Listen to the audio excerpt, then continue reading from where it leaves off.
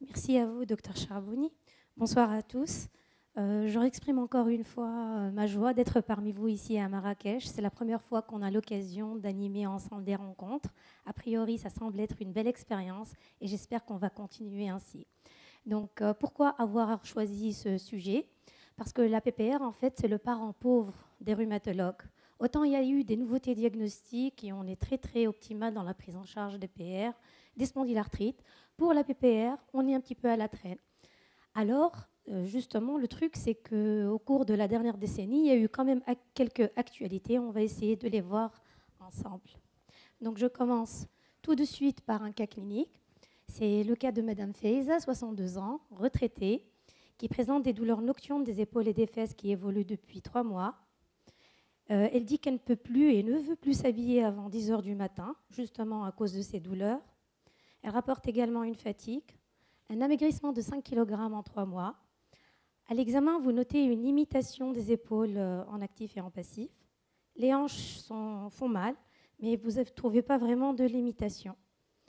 Donc, euh, elle a ramené avec elle un bilan qui a été réalisé quatre jours auparavant.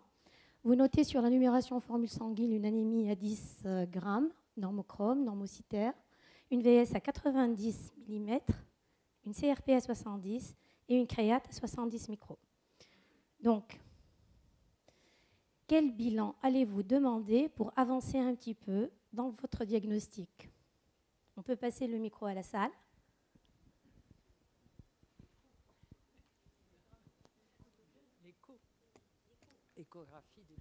Donc vous commencez d'emblée par une écho des épaules.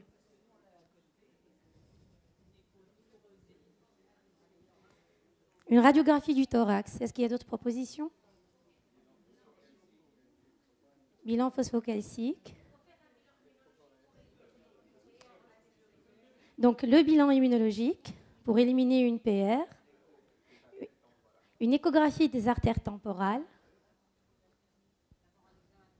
d'abord un examen clinique. Donc on a tous des attitudes plus ou moins différentes. Une échographie des épaules. D'accord.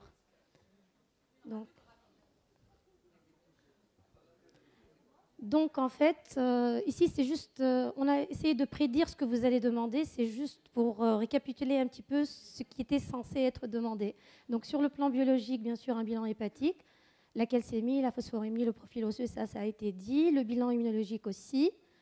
Bon, on a peut-être été un petit peu rapide, mais personne n'a demandé le PP ou bien le bilan des enzymes musculaires. Oui, voilà. Donc l'imagerie, la radio des épaules, ça a été dit, la radio thorax aussi. Euh, on peut discuter aussi la radio du bassin, les mains, les avant-pieds pour éliminer les autres rhumatismes inflammatoires avec en tête de liste bien sûr la PR. L'échographie des épaules, ça a été dit en premier. Euh, peut-être aussi qu'il y aurait certaines personnes qui penseraient à un scanner thoraco-abdominopelvien. C'est quand même une dame de 62 ans qui a mal un petit peu partout, il y a un syndrome inflammatoire. C'est discutable euh, c'est pas ce qu'on a demandé d'emblée. C'est vraiment pour récapituler ce qui aurait pu être demandé d'emblée. On verra après quel est le bilan de première intention. Donc, euh, oui.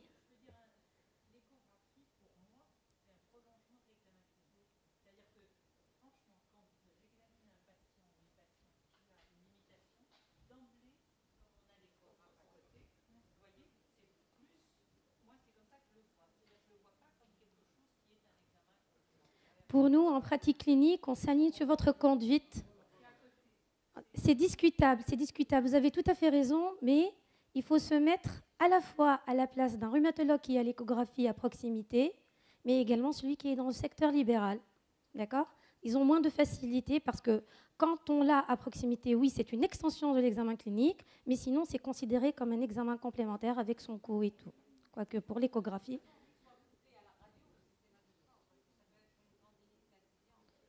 On y arrive. Donc pour Madame euh, Feiza, ça c'est une discussion. Donc, Alors on euh, va voir avec Docteur euh, Traya. Donc pour Madame, encore. pour Madame Feiza, voilà ce qu'on a demandé. On a demandé un bilan immunologique qui est négatif. On a demandé une EPP qui a montré une hypergamma polyclonale. Le reste de la biologie était normal, hormis le syndrome inflammatoire. Pour l'imagerie, on a commencé par les radiographies standards. Elles étaient pratiquement normales, hormis des signes en faveur d'une atteinte euh, dégénérative.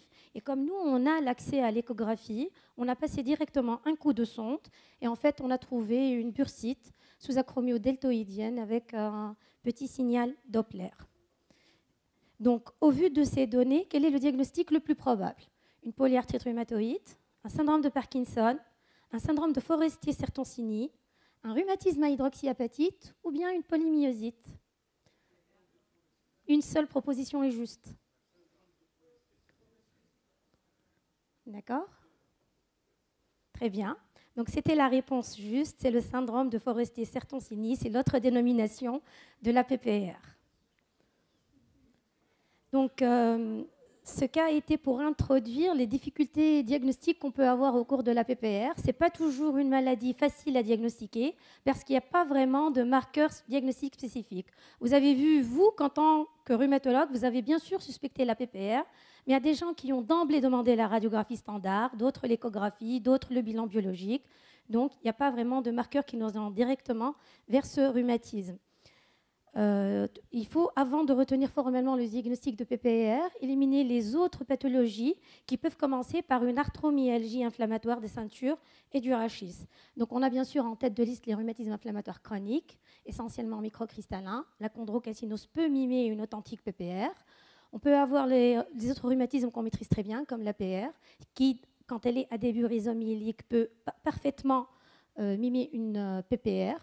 Plus rare est quand on a des signes d'accompagnement, notamment musculaire, on évoquera plutôt la polymyosite, d'autres connectivites, euh, une néoplasie, bien sûr, surtout chez ces sujets qui sont le plus souvent d'un certain âge. Quand on n'a pas de syndrome inflammatoire, on évoquera plutôt les pathologies mécaniques. Comme l'a dit Dr Medeb, des fois, une tendinopathie bilatérale de la coiffe peut prêter à confusion également. Euh, on peut évoquer une maladie de Parkinson, une dystéroïdie. Il faut savoir aussi qu'on a des arthromyalgies des ceintures qui peuvent être iatrogènes, notamment chez les patients qui sont sous statine au long cours ou qui prennent de l'ipilimumab. C'est un anticorps qu'on utilise pour traiter les mélanomes. Donc euh, actuellement et euh, assez récemment, on a des recommandations qui nous guident pour le diagnostic et la prise en charge euh, de la PPR. C'est le fruit du travail entre le LAR et l'ACR. Donc on a certains, on va dire que le chemin commence à être balisé. Et en voyant un petit peu ces recommandations, on voit que le premier principe est que la PPR est un diagnostic d'exclusion. Donc avant de retenir le diagnostic de PPR, il faut éliminer les autres conditions qui peuvent être infectieuses, néoplasiques, endocriniennes, iatrogènes ou rhumatismales, autres que la PPR. Euh, en pratique, qu'est-ce qu'il faut rechercher? Eh bien, sur le plan clinique, à chaque fois que vous avez cette teinture scapulaire et pelvienne, il faudra bien sûr rechercher les signes en faveur d'une artérite gigantocellulaire, parce que vous savez qu'il y a environ un cinquième des PPR qui peut s'associer à une véritable maladie de Horton. Il faudra bien sûr éliminer les autres signes en faveur d'autres rhumatismes. Donc, une présence d'une arthrite périphérique orientera d'emblée plutôt vers une PR ou un rhumatisme microcristallin. On éliminera bien sûr les étiologies infectieuses, les néoplasies, les maladies musculaires. Sur le plan biologique, ce qu'il faudra faire, et ici de façon systématique, c'est plutôt l'hémogramme, les marqueurs inflammatoires, l'AVS et plus récemment, on s'intéresse plutôt à la CRP. Mais attention, ici, il faut savoir qu'il y a environ 20% des patients qui n'ont pas de syndrome inflammatoire biologique. En général, ce sont des sujets qui sont relativement plus jeunes et qui n'ont pratiquement pas de signes systémiques. On demandera bien sûr un ionogramme, une créate, un bilan hépatique, le profil osseux, euh, le bilan immunologique qui reste quand même un bilan systématique, donc il comprend les facteurs rhumatoïdes, les anticorps anti-CCP. Et au cas par cas, ce ne sont pas des bilans systématiques, on discutera les enzymes musculaires, donc CPK essentiellement, le bilan thyroïdien, la réalisation d'une électrophorèse des protéines, les anticorps antinucléaires et le bilan infectieux si le contexte euh, évoque cette étiologie. Donc, euh, au cours de la PPR, tout le bilan est en théorie normal et on a juste une perturbation sur les marqueurs de l'inflammation, tout simplement. Sur le plan radiographique, donc les radiographies servent surtout à exclure d'autres diagnostics différentiels qui peuvent prêter à confusion. Donc on réalisera de façon systématique une radiographie du thorax de face une radiographie des épaules en incidence neutre et en rotation, et une radiographie du bassin. Et dans la PPR maladie, ce bilan est normal. Vous allez trouver quelques atteintes en rapport avec une arthrose, mais pas plus, en théorie. Et là, on arrive à la deuxième difficulté auquel le rhumato peut être confronté. Est-ce qu'on s'arrête justement en radiographie standard ou bien est-ce qu'il faut demander d'autres images et moyens d'imagerie? Et si oui, quels sont ces examens qu'on doit prescrire On a parlé un petit peu de l'échographie. C'est vrai qu'elle prend une place de plus en plus capitale. C'est un examen qui n'est pas chronophage, qui est de réalisation assez facile, qui n'est pas coûteux. Et quand on a l'appareil à disposition, il suffit de passer un coup de sonde et ça vous facilite la donne comme pas possible. Et justement, pour enchaîner un petit peu sur euh, l'échographie, ici je vous présente les nouveaux critères de classification de la pseudo-polyarthrite pseudo. Je vous rappelle qu'elles sont applicables pour euh, les sujets de plus de 50 ans qui présentent une douleur des épaules et qui ont au moins un marqueur de l'inflammation qui est perturbé. Donc ces critères comprennent les items suivants une raideur matinale de plus de 45 minutes, euh, une douleur de la hanche ou une limitation de la hanche à l'examen, l'absence de facteur rhumatoïde ou d'ACPA, l'absence de douleur articulaire et la nouveauté, c'est qu'il y a en plus des critères échographiques. Donc, euh, premier critère, on réalise l'échographie d'une épaule ou d'une hanche et on doit avoir des anomalies. Sinon, il faut faire un examen euh, latéral et, euh, bilatéral et comparatif des deux épaules. Donc ainsi, euh, sans les critères échographiques, il faut avoir un score supérieur à 4 pour classer la patiente PPR. Avec l'échographie, il faut avoir un, score supérieur à 5. Et si on reprend un petit peu le cas de Madame Feiza, on voit que de toute façon, sans échographie, on aurait pu la classer PPR. Et avec échographie également, on peut la classer PPR. Donc, euh, toujours pour insister sur euh, l'intérêt de l'échographie, j'ai choisi pour vous cette méta-analyse qui a recensé 10 euh, études avec plus de 400 patients. Donc, l'atteinte de la ceinture scapulaire attestée par l'échographie est assez fréquente. On trouve une bursite acromio-deltoïdienne bilatérale dans presque 92% des cas. Et ce qui est intéressant avec euh, ce signe, c'est qu'il a une très, belle, très bonne sensibilité et spécificité, avec une valeur prédictive positive de 98. Qu'est-ce que ça veut dire? Ça veut dire que quand on trouve une bursite bilatérale des épaules, on a 98% de chance que ça soit une PPR. Sinon, les autres signes, c'est la ténosynovite bilatérale du biceps, la synovite gléno-humérale bilatérale.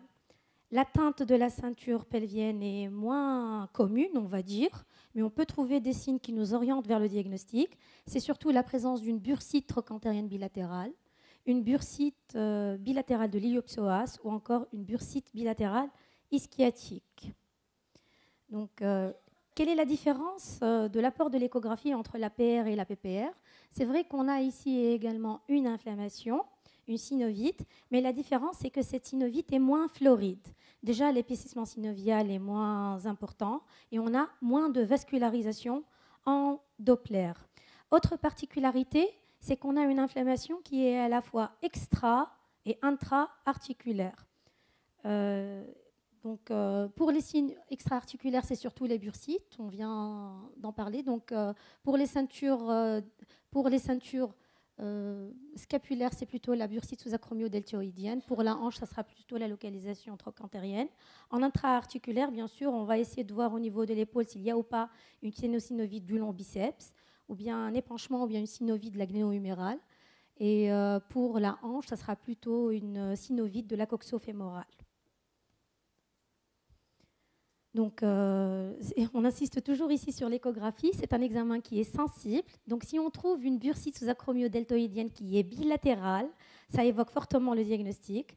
Mais il est vrai qu'elle est peu euh, spécifique. Pourquoi? Parce que chez ces sujets de plus de 50 ans, on peut être euh, tout simplement dans le cas d'une pathologie de la coiffe des rotateurs. Donc, il ne faut pas prendre les signes échographiques isolément sans les intégrer dans le contexte clinique. Donc on revient à Madame Feiza. Vous avez retenu le diagnostic de PPR. Quelles sont les autres localisations articulaires préférentielles de la maladie à rechercher? Le rachis cervical, euh, la manibruille sternale, le rachis lombaire, l'atteinte des genoux, les chevilles.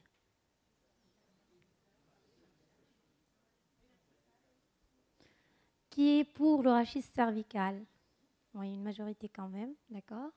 La manœuvrio-sternale, on n'est pas très chaud sur ça. Le rachis lombaire, un petit peu moins, mais il y a quand même des, euh, adhérents. Les genoux, une seule personne, d'accord? Les chevilles, une personne au fond de la salle. D'accord. Donc, euh, voici les réponses euh, justes. Le rachis cervical lombaire, bon, la majorité avait déjà répondu. Pour les genoux, on va voir. Donc, euh, en fait, actuellement, il faut s'habituer à penser, à demander au PR de leur montrer, de vous montrer leurs genoux, justement. Il faut savoir qu'il y a environ un patient sur deux qui fait une atteinte articulaire périphérique, et cette atteinte articulaire périphérique intéresse essentiellement les genoux. Je vous rapporte cette étude euh, qui est de petit effectif, mais qui est bien menée et assez récente. Donc, c'est une étude de 4 témoins qui a recensé 19 patients PPR 6 maladies de Horton qui ont été comparés à des patients indemnes de rhumatisme inflammatoire. Donc, tous les patients ont bénéficié d'un PET scan. Et on voit dans le groupe des patients PPR ou maladies de Horton qu'il y a une, euh, dans 94% des cas une captation anormale en regard des genoux. Et en fait, sur les 50 genoux examinés, la fixation était dans la majorité des cas capsulaire, dans plus de 90% des cas. Donc elle pouvait être intracapsulaire ou extracapsulaire. Euh, les auteurs concluent que la fixation tissulaire bilatérale des genoux est fréquemment retrouvée euh, en PET scan chez les patients PPR ou porteurs de la maladie de Horton. Et en fait, la captation est essentiellement capsulaire, ce qui nous fait dire que la PPR est plutôt une maladie capsulaire, à l'opposé de la polyarthrite rhumatoïde, qui est une pathologie synoviale. Donc, euh, pour l'atteinte euh, lombaire, il a été démontré que la présence d'une bursite lombaire est un signe d'activité de la PPR. C'est vrai qu'on n'a pas vraiment l'habitude de penser à une atteinte lombaire en cas de PPR. Ça nous évoque plutôt les spondylarthrites, les rhumatismes avec une atteinte axiale. Dans cette étude, euh, bon, ça c'est 30. Hein.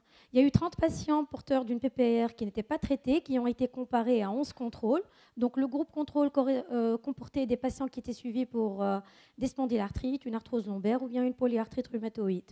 Et tous les patients ont bénéficié d'une IRM lombaire avant, avant le traitement. Et on avait trouvé qu'il y avait des signes de bursite interspinale chez 90% des patients atteints de PPR, contre seulement 5 des 11 patients contrôle et l'atteinte lombaire prédominait au niveau de L3, L5. Et en analyse semi-quantitative, on avait trouvé un aspect inflammatoire avec un grade assez conséquent, donc supérieur ou égal à 2, qui était plus fréquent chez les PPR, donc plus d'un patient sur deux par rapport au contrôle. Donc euh, il va falloir dorénavant retenir que l'atteinte inflammatoire lombaire basse est fréquente chez les patients qui sont suivis pour une PPR et là, euh, on est dans la confirmation que c'est une pathologie qui est extrasynoviale, parce que ce qu'il y a comme euh, euh, d'anormal sur l'IRM, c'est vraiment l'atteinte des différentes bourses. Donc, on reste ici sur l'imagerie et on reprend un petit peu les données qu'on trouve sur l'IRM. C'est une autre étude assez récente qui a comparé les PPR aux patients PR avant le traitement, donc avant toute prescription de corticoïdes ou autre. Et ce qu'ont fait ces auteurs, c'est qu'ils ont réalisé une IRM du corps entier pour tous les patients. Donc, dans le groupe EPR, on avait des aspects inflammatoires symétriques extracapsulaires, euh, un petit peu partout, donc au niveau du grand trochanter, des ischions, de l'acétabulum, de l'insaphyse euh, pubienne. Mais ce qui est encore plus intéressant, c'est qu'on a refait l'IRM après un traitement par corticoïde et qu'on a trouvé que le score en IRM était corrélé à l'intensité de l'inflammation. Qu'est-ce que ça veut dire? Eh bien, Plus un patient avait un score d'IRM élevé au début, meilleure était la réponse thérapeutique au corticoïde. Donc, euh, les auteurs concluent ici que l'IRM euh, corps, entier apporte des arguments, bien sûr diagnostiques en faveur d'une PPR, mais peut également apporter des éléments pronostiques pour la réponse thérapeutique. Donc, euh, pour finir un petit peu sur l'IRM, si on essaye de la pratiquer sur les autres articulations périphériques, elle il n'y a pas vraiment un apport assez important de cet examen d'imagerie. Il va vous montrer les mêmes lésions que l'on peut trouver en échographie, mais c'est quand même un examen qui est plus sensible. Plus coûteux, certes, mais plus sensible. Son intérêt réside dans les localisations inhabituelles. Donc, elle permet de mettre en évidence, par exemple, une bursite interépineuse euh, ou une bursite trochantérienne. Notons toutefois que, cet examen complémentaire a une spécificité et une sensibilité difficiles à préciser parce que toutes les, études ont été faites sur un petit nombre de patients. Donc, euh, le PET scan, euh, je ne sais pas comment c'est ici au Maroc. Nous, en Tunisie, on ne l'a pas vraiment dans le secteur public. Il y a un ou deux centres qui le réalisent euh, dans le secteur libéral. De toute façon, ce n'est pas un examen de routine à l'heure actuelle. Euh, quand est-ce qu'on peut le demander? Par exemple, si on a un doute diagnostique, on est plutôt penché vers une néoplasie sous-jacente, ou bien quand c'est un patient qui présente une corticorésistance ou une corticodépendance, et là, on met en doute le diagnostic. Donc, c'est un examen qui pourrait être d'un apport non négligeable. Euh, c'est un examen qui a une assez bonne euh, spécificité, à condition d'avoir une hyperfixation sur au moins trois sites différents. Donc, en tête de liste, c'est surtout une localisation au niveau des épaules, de la tuberosité ischiotique et bien sûr au niveau lombaire, les bursites interépineuses. Donc, pour finir cette partie imagerie, il faut savoir que l'IRM et le PET scan ne sont pas d'indication systématique dans la PPR. Euh, on peut les proposer, par exemple, si on est en face d'un doute diagnostique, est-ce que le patient présente une aortite sous-jacente, notamment si on a des signes atypiques comme une lombalgie, une douleur des membres inférieurs, ou bien si on a une réascension des paramètres d'inflammation. Donc on revient à Madame Feiza. Vous avez fait votre diagnostic. Donc moi, je préfère finir sur une note positive. Je ne vais pas dire que le diagnostic est difficile, je vais dire qu'il est relativement facile. Et là, en faisant votre visite, il y a un petit externe comme ça qui est très curieux, qui est très sympa, qui passe et qui vient vous poser euh, cette question. Chef, c'est qui qui va s'en occuper? Vous allez répondre le médecin de famille, l'interniste, le rhumatologue, le médecin légiste, ou bien personne, c'est son destin. Elle a fait une PPR, tant pis. Médecin légiste.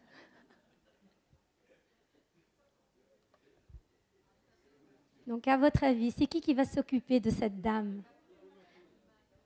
Le rhumatologue, comme la PR Rhumatologue, interniste, médecin de famille aussi. Non, non, je parle de la PPR. Hein. PPR. Donc, en fait, pas le, pas le médecin légiste, je ne suis pas vraiment d'accord mais pratiquement tous, tous les médecins, indépendamment de la spécialité, sont aptes à prendre en charge des malades qui ont une PPR. Et en fait, en reprenant un petit peu les recommandations de l'ELAR et de l'ACR, euh, la PPR est une pathologie qui est relativement bénigne, à condition d'avoir exclu les principaux diagnostics différentiels. Sa prise en charge peut être faite en ambulatoire par le médecin de famille, par l'interniste, par le rhumatologue par autres professionnels de la santé qualifiés. Maintenant, il y a juste une petite remarque, c'est qu'il faut conseiller une consultation chez un spécialiste si vous avez une présentation atypique, par exemple si vous êtes en face d'un patient qui a des arthrites périphériques, des signes systémiques d'inflammation, euh, euh, un syndrome inflammatoire biologique qui n'est pas vraiment marqué, ou bien quand vous êtes devant un sujet jeune. Là, il faut le référer au spécialiste. Ou bien si vous êtes euh, dans le cas d'une rechute ou facteur de risque de rechute, ou encore quand vous avez commencé votre corticothérapie, mais qu'il n'y a pas de réponse, ou que le patient nécessite une corticothérapie prolongée. Dans ces, cas de figure, dans ces cas de figure, il est recommandé que ce soit un médecin spécialiste de la pathologie qui s'occupe du patient. Ça peut être un rhumato, ça peut être un interniste. D'accord? Voilà. Mais bien sûr, l'autre question, c'est quand adresser au rhumato, hormis ces cas cliniques, eh ben, c'est quand vous voulez. Voilà. Donc, donc euh, pour autre nouveauté, c'est euh, une fois qu'on a fait le diagnostic, il va falloir évaluer l'activité de la maladie pour pouvoir prendre en charge cette patiente. En fait, c'est un score qui a été récemment euh, élaboré pour faciliter la discussion entre le médecin généraliste et le médecin rhumatologue quant à la dégression de la corticothérapie et l'instauration de la corticothérapie. C'est un score à 5 items qui est très facile et qui ne nécessite pas l'utilisation d'une calculette ou bien une de ces formules difficiles qu'on a comme le DES et tout. Donc les cinq paramètres qu'il faudra récolter, c'est la raideur matinale en minutes, la capacité à élever les bras, euh, les membres supérieurs, donc ici, classiquement, on va s'intéresser à la ceinture scapulaire. On ne peut pas du tout, c'est 0. Un petit peu au-dessus, dessous des épaules, c'est 1. Au niveau des épaules, c'est 2. Et carrément en haut, c'est 3. Euh, l'évaluation de la maladie par le médecin. La sévérité de la douleur sur l'EVA par le patient. Le taux de CRP en milligrammes par décilitre. Donc si vous l'avez en litres, n'oubliez pas de diviser par 10. Et ce qu'il faut faire, c'est une simple sommation de ces 5 items. Donc vous allez avoir un chiffre et en fonction du chiffre, vous allez classer votre patient. Donc ainsi, un DAS-PPR inférieur à 7, vous allez dire que c'est une, maladie de faible activité. Entre 7 et 17, c'est une activité modérée. Et au-delà de 17, c'est une maladie avec une activité assez forte. Donc on revient à Madame Feiz. Euh, son DAS-PPR est à 27. Qu'est-ce que vous allez lui donner? Que prescrivez-vous? Donc, vous allez raisonner de cette façon. Elle souffre, je lui donne du prophénite 100 mg x 2 par jour, avec du codoliprane, de gélules x 2 par jour. Non, vous allez dire, on peut attendre un peu, il n'y a pas d'urgence. Je lui donne un traitement d'appoint, des préparations d'herbes chinoises, comme les capsules que l'on utilise euh, au cours de l'APR. Nous, on ne les a pas vraiment en Tunisie, mais euh, apparemment, c'est un petit peu la mode euh, un petit peu partout dans le monde. vous allez raisonner dans cette optique-là. De toute façon, ça ne va pas lui faire de mal, c'est des trucs naturels. Troisième proposition, vous allez dire ça urge, il faut démarrer d'emblée une corticothérapie à 7 mg et demi. Sinon, vous êtes sceptique, vous allez dire bon, il n'y a pas d'urgence, je vais d'abord rechercher les comorbidités et démarrer une corticothérapie par la suite. Ou vous êtes plutôt euh, assez incisif, vous allez taper fort et illico, méthotrexate et anti-TNF alpha. D, C, C, c'est d'accord.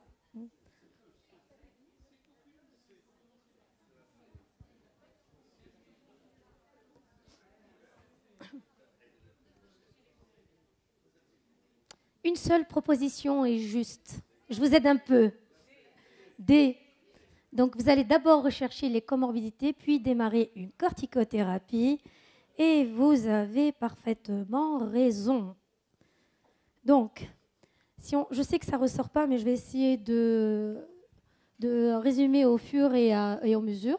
Donc, en l'absence de signes évoquant une urgence relative et avant de prescrire une thérapie, il est préférable de rechercher les comorbidités. Donc, comment évaluer ces comorbidités? Il faudra rechercher les antécédents d'HTA, de diabète. C'est ce que vous connaissez en fait, d'intolérance au glucose, d'ulcère gastrique, d'ostéoporose et ainsi de suite. Il faudra bien sûr voir quels sont les traitements concomitants et qui peuvent être potentiellement gastrotoxiques.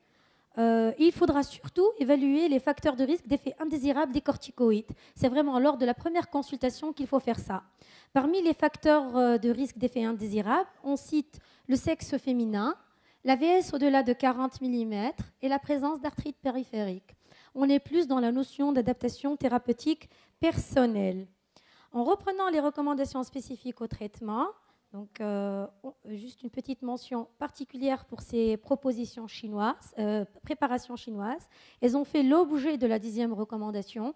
En fait, et contrairement à la polyarthrite rhumatoïde, il est fortement recommandé de ne pas les prescrire et les utiliser.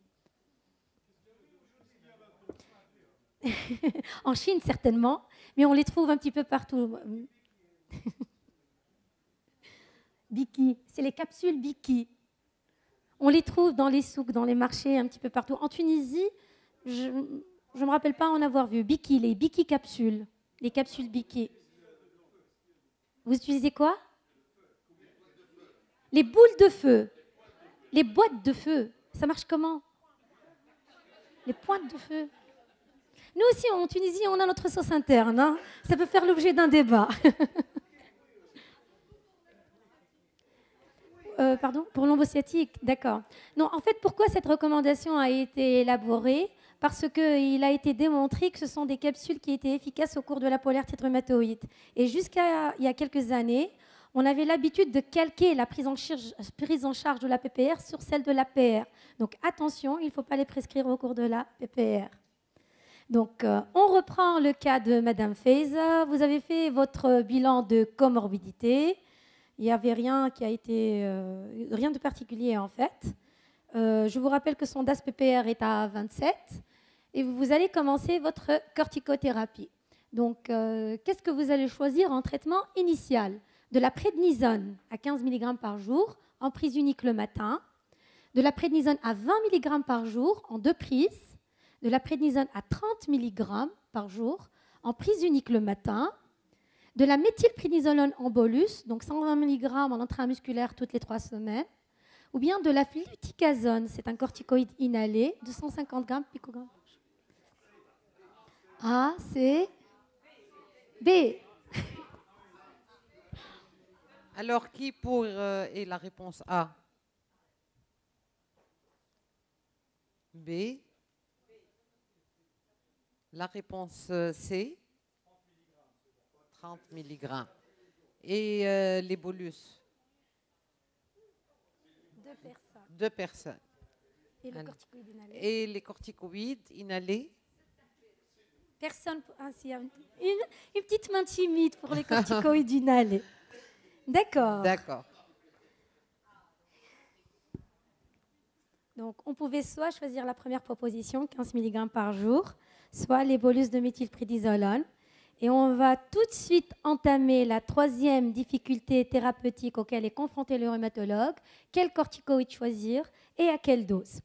Donc, euh, déjà, on est d'accord, le traitement médicamenteux de la PPR, c'est la corticothérapie par voie générale, ce n'est pas la voie inhalée.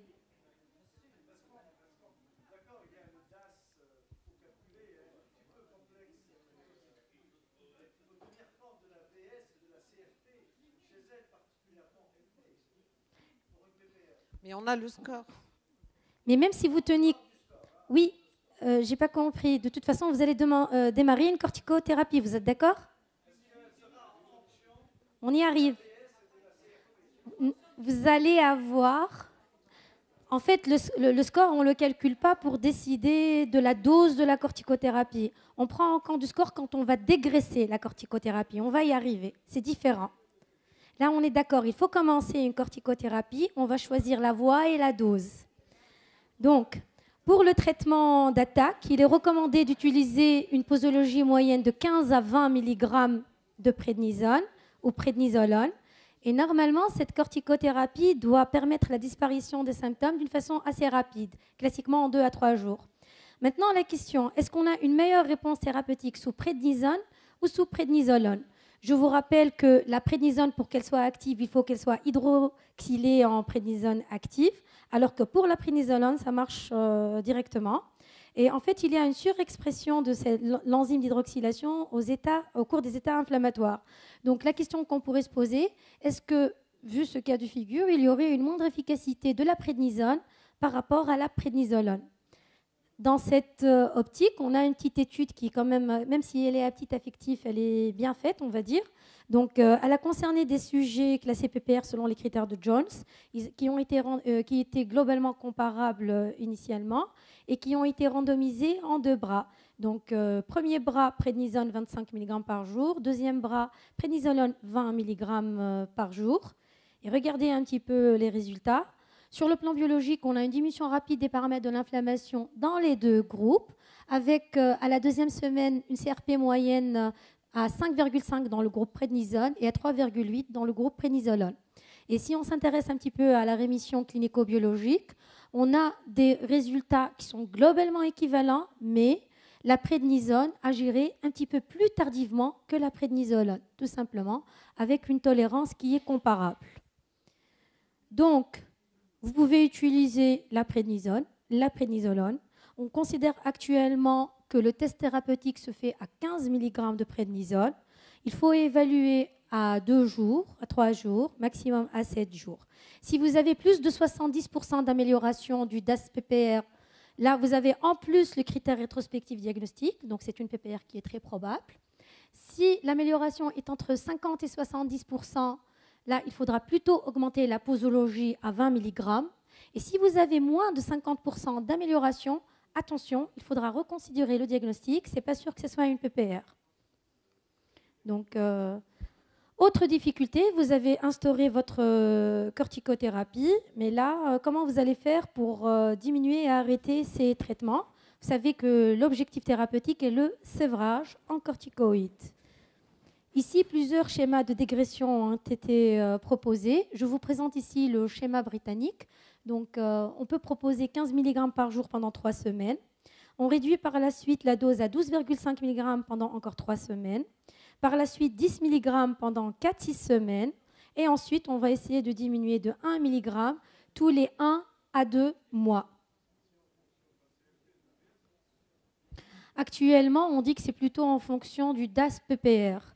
En fait, quand le DAS-PPR est supérieur à 10, il ne faut pas diminuer la dose de corticoïdes. Quand il est inférieur à 10, oui, on y va, mais progressivement. Donc, euh, euh, il faut aussi penser à raccourcir la, durée de la corticothérapie, mais il ne faut pas y aller trop rapidement non plus. Pourquoi? Parce qu'on a remarqué qu'il y avait environ 77% des patients qui rechitaient après une année de traitement si la corticothérapie était stoppée euh, assez rapidement en 6 mois. Donc, idéalement, on conseille une durée moyenne de 12 à 16 mois pour éviter les rechutes.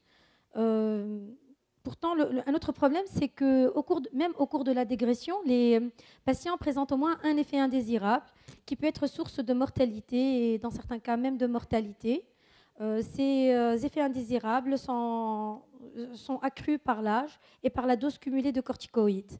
En effet, on voit que quelle que soit la dose de corticoïdes et quel que soit le schéma thérapeutique que l'on suit, le patient peut développer ces effets indésirables, donc vous les connaissez certainement. On a des effets de type osseux, notamment les fractures, oculaires, en tête de liste la cataracte, hypertension artérielle, l'infection, diabète et hémorragie digestive. Et ici, c'est pour enchaîner sur une autre euh, difficulté auquel peut être confronté le rhumatologue. On est emballé dans la prise en charge de la PPR, on surveille le tapering des corticoïdes et tout, mais on oublie la prévention de l'ostéoporose qui peut être cortico-induite. Donc, mention particulière pour cette euh, complication pas, inhabituelle des corticoïdes. Il faudra bien sûr penser à évaluer le statut osseux et prescrire des bisphosphonates si vous êtes euh, dans le cas d'une ostéoporose cortico-induite. À titre d'exemple, vous avez ces recommandations françaises qui étayent très bien la prise en charge de l'ostéoporose cortisonique. Donc, autre cas de figure, votre patient a bien répondu à la, dose initiale de corticoïdes, mais lors de la dégression, il a de nouveau des douleurs. Donc, euh, à quoi est-ce que vous allez penser? Vous allez penser bien sûr à une reprise de sa pathologie, une rechute euh, ou bien des douleurs qui sont dues à la PPR.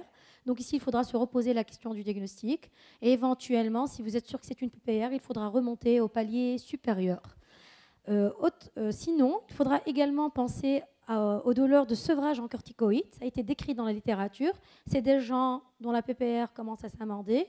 Quand vous diminuez les doses de corticoïdes, ils font des douleurs un petit peu partout. La particularité, c'est que ce sont des douleurs non systématisées. C'est à la fois des douleurs articulaires, périarticulaires, musculaires. Dans ces cas de figure, il ne faut surtout pas arrêter les corticoïdes. Il faut y aller encore plus lentement sur la dégression. Et quand vous êtes à moins de 5 mg, il faut passer à l'hydrocortisone.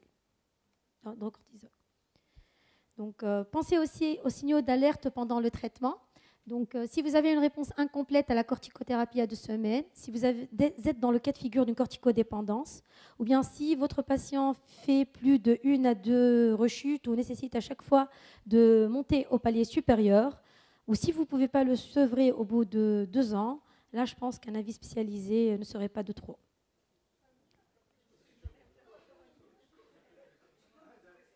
Un rhumato expérimenté, on va dire. Concertation disciplinaire. Légiste.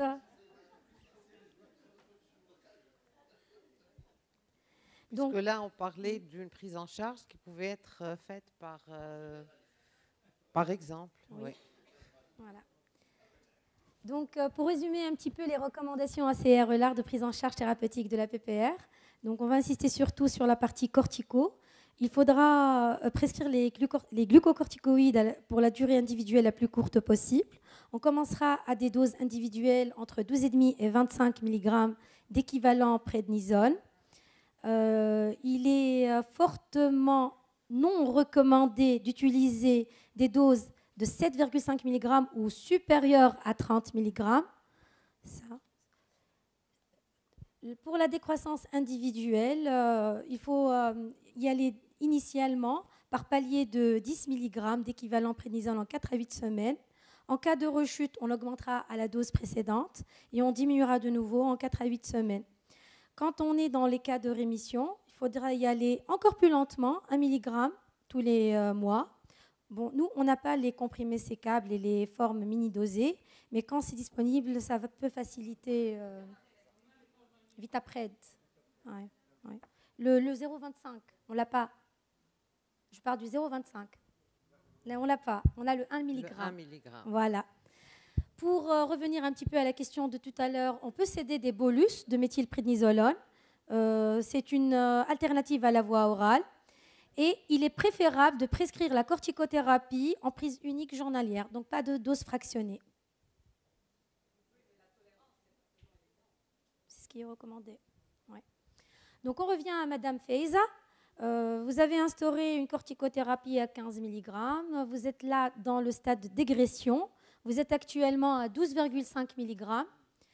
Sauf que lors du contrôle, vous découvrez qu'elle fait un diabète cortico-induit et que c'est une patiente qui commence à devenir réticente aux corticoïdes.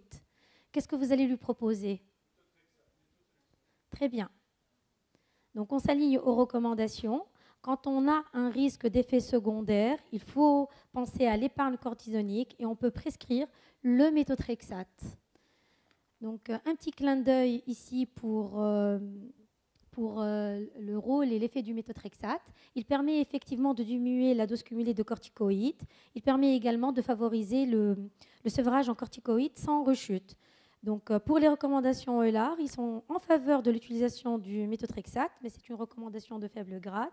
On le prescrit surtout chez les patients à haut risque de rechute, ceux qui ont des facteurs de risque comme des comorbidité, des traitements associés qui peuvent majorer les effets secondaires de la corticothérapie. Euh, on peut également l'indiquer quand on est dans le cas d'un patient qui fait une rechute ou bien qui ne répond pas favorablement à la corticothérapie ou qui fait un effet indésirable secondaire à la corticothérapie. Et dans ce cas de figure, les doses de méthotrexate qu'on prescrit sont assez petites. Elles sont de l'ordre de 7,5 à 10 mg par semaine. Donc, c'est ce que vous avez fait avec Madame euh, Feiz. Vous l'avez mis sous méthotrexate 10 mg par jour et vous l'avez réévalué à deux mois. Donc, actuellement et lors de votre contrôle, elle est sous prédnisone 10 mg et méthotrexate 10 mg par semaine. Elle est en amélioration clinique. Euh, le syndrome inflammatoire s'est amélioré. La VS est à 35, la CRP à 12. Euh, le reste du bilan est normal. Par contre, elle vous rapporte une intolérance digestive assez importante au méthotrexate. Vous avez changé par voie injectable, c'est pareil, elle est toujours aussi intolérante. Vous lui donnez de l'acide folique tous les jours, ça va pas bien. Donc, vous décidez d'arrêter définitivement le méthotrexate. Qu'est-ce que vous allez faire pour la prise en charge actuelle de sa PPR Vous allez maintenir la corticothérapie à 10 mg. Vous allez prescrire du plaquenil, prescrire des anti-TNF-alpha prescrire du tocilizumab ou juste prier pour que sa PR ne rechute pas. PPR ne rechute pas. Qui est pour euh, la première euh, proposition A. Donc D. B, non D. D. D'accord. Même si vous optez pour le D, il ne faut pas oublier de garder la corticothérapie. Elle est à 10 mg, vous ne pouvez pas l'arrêter brutalement. Donc, euh, quelle est la place des traitements de fond dans la PPR Donc déjà, les molécules anciennes, l'azathioprine et l'hydrochloroxine, on oublie. Elles sont inefficaces et elles ont une toxicité qui est assez élevée. Pour le léflunomide, il y a eu quelques petits essais de très petits effectifs, mais il paraîtrait que la RAVA a un effet bénéfique potentiel dans les cas de PPR réfractaires. Pour les anti-TNF-alpha, les deux qui ont été euh, testés, c'est l'infleximab et l'atanercept. Et il paraît qu'il n'y a pas d'efficacité sur les rechutes et que ces molécules ne permettent pas euh, d'épargner euh, la dose en corticoïdes. Donc définitivement, les anti-TNF-alpha n'ont pas d'indication au cours de cette pathologie.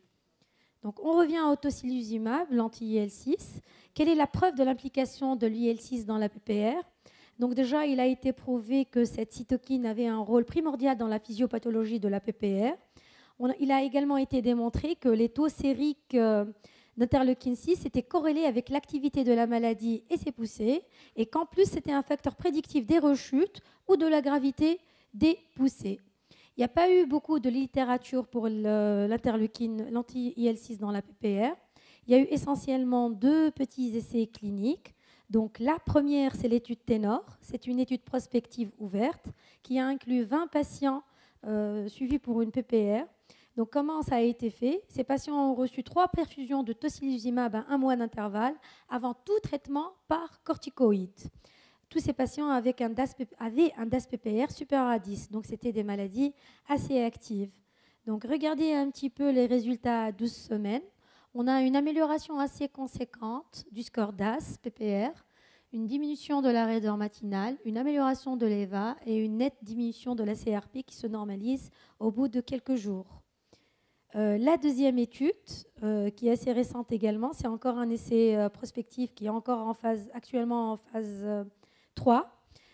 donc initialement, il a concerné 10 patients suivis pour une PPR qui a été nouvellement diagnostiquée. Donc, ils ont été traités cette fois-ci par des doses de corticoïdes environ 16,5 mg par jour, en plus du tocilizumab en intraveineux, tous les mois. Donc, euh, les cures étaient d'un mois. Et on les a comparés à 10 patients qui est traité, euh, PPR qui étaient traités seulement par corticoïdes. Donc, euh, voilà ce qu'on trouve. Quand on analyse les résultats à 6 mois, on trouve qu'on a plus de rémission dans le groupe tocilizumab plus corticoïdes, moins de rechute à une année, une durée d'exposition moindre et des doses cumulées de prédisone moindres. Donc il paraît au vu de cette étude que le tocilizumab est efficace pour induire la rémission, mais également pour diminuer la charge en cortisonique. Donc il favorise l'épargne cortisonique. Donc que devons-nous retenir pour le tocilizumab? C'est qu'apparemment son efficacité est confirmée, mais le risque à les utiliser chez les sujets âgés, surtout en long cours, on ne sait pas trop. La difficulté actuelle, c'est le positionnement actuel de cette molécule dans l'arsenal thérapeutique de la PPR. Je pense que c'est des traitements envisageables essentiellement dans le cadre de protocoles thérapeutiques ou quand on n'a pas vraiment d'autres solutions thérapeutiques.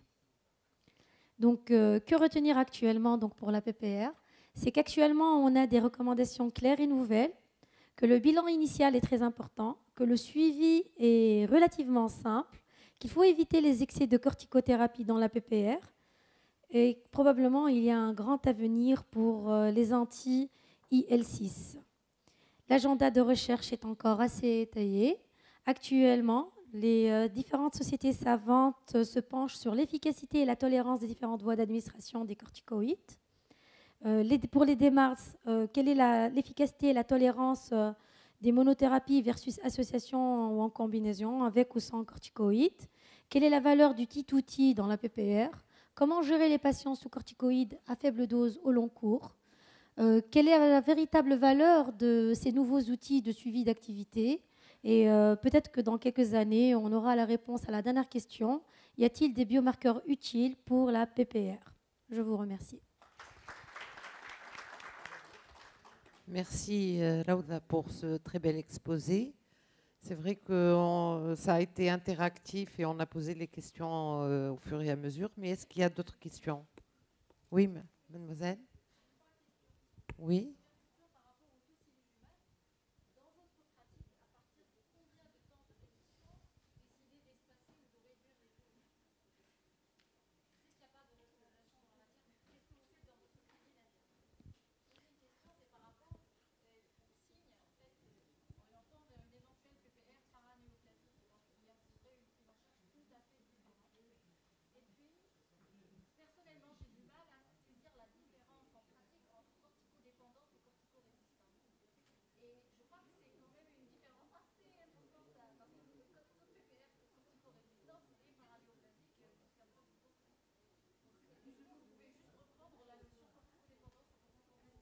D'accord, pour rester un petit peu. Donc déjà, en pratique, pour nous, pour l'utilisation du tocilizumab dans la PPR, honnêtement, on n'a pas encore commencé.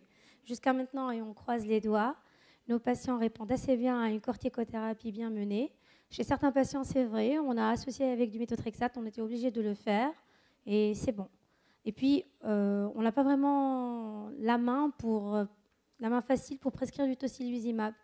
Dans notre arsenal thérapeutique, c'est un traitement qui qui n'est pas facilement accessible. Puis honnêtement aussi, on ne voit pas des tonnes de PPR. Je me suis amusée un petit peu à voir les archives des deux, dernières années. On en a vu trois. C'est une pathologie que l'on traite surtout en ambulatoire. Donc voici pour la première question. Pour la deuxième, c'était quoi?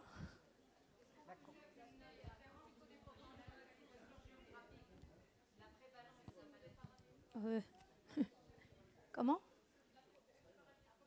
Pour la PPR paranéoplasique, il y a quelques années, on a eu le cas d'un patient chez qui définitivement on avait retenu euh, ce diagnostic. C'était euh, une atteinte des ceintures scapulaires et pelviennes. Mais le signe qui nous avait mis sur, sur la piste, c'est que quand on a réalisé des radiographies standards, on avait trouvé des appositions périostées au niveau des phalanges et des avant-bras. Donc là, en complétant le tableau, il s'est avéré qu'en fait, il y avait une néoplasie primitive pulmonaire qui avait donné ce tableau de PPR. Et ce patient, initialement, on l'avait traité comme une PPR simple. On l'avait mis sous corticoïde, mais il ne s'améliorait pas vraiment. Et en fait, une fois qu'il avait commencé la chimiothérapie, on voyait que ça allait un petit peu mieux. Donc honnêtement, par la suite, on l'avait branché en pneumologie, donc je n'ai pas le suivi au long cours. Oui, docteur Lamère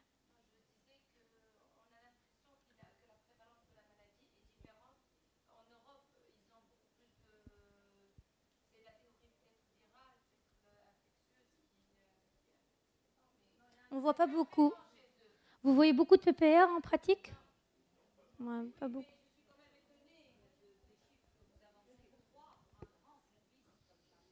Non, je parle de la dernière année. Et là, quand j'ai vu les archives, j'ai fait les archives d'hospitalisation, pas de consultation. Hein. Attention. En fait, euh, ça, ça doit être des patients qui ont été hospitalisés pour euh, pour euh, étiquette diagnostique, pour voilà. polyarthrite non ah, étiquetée. Exactement. Mais les autres euh, ont dû être traités en externe. En externe. Non, non, je n'ai pas les chiffres des patients qui ont été traités en, en externe. Je pense que c'est un petit peu plus. Hein. Oui, madame.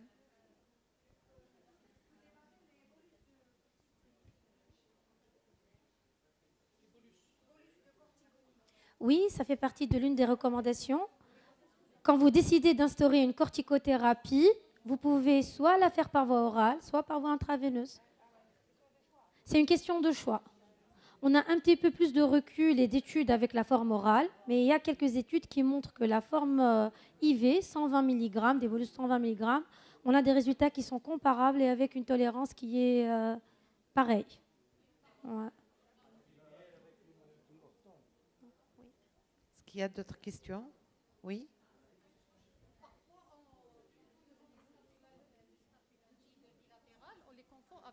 Des, capsules euh, rétractiles des épaules et on les infiltre.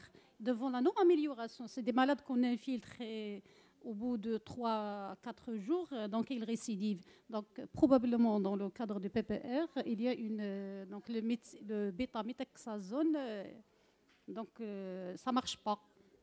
Et probablement, c'est des signes indirects de la PPR. Lorsqu'on infiltre des malades pour des scapulalgies ou bien des capsules rétractiles ne répondent pas, c'est qu'il faut redresser. D'autant plus que j'ai l'impression qu'il y a une résistance de cette molécule. Juste pour euh, dire sur votre remarque, moi je pense que l'échographie ici est d'un apport assez euh, important. Si vous réalisez un coup de sonde et que vous voyez qu'il y a quand même une synovite qui n'est pas très active, mais la synovite est là, ou bien si vous trouvez une ténosynovite dans la, du de la longue portion du biceps et tout, si en plus vous faites un coup de sonde sur la hanche et vous trouvez des anomalies, vous pouvez classer votre patient, ça peut redresser le diagnostic. Voilà. Non, mais, mais attention, il y a quand même 20%, de patients qui n'ont pas de syndrome inflammatoire. En général, c'est des sujets relativement plus jeunes, de la soixantaine et tout. On peut trouver une PPR sans syndrome inflammatoire. Voilà. D'autres